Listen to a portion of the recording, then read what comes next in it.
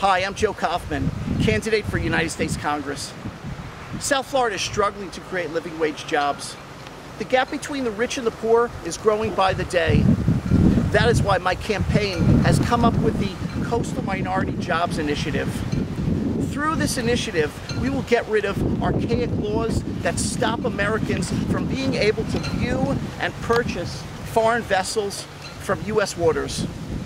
And through this initiative, we will create thousands of jobs. Jobs for minorities, jobs for new immigrants, and it will boost the economy for everyone.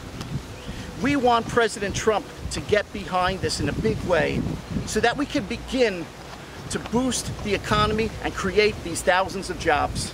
Let's prosper together.